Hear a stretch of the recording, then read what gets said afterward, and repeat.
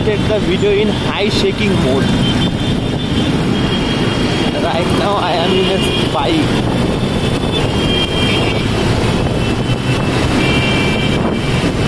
So there are too much shaking.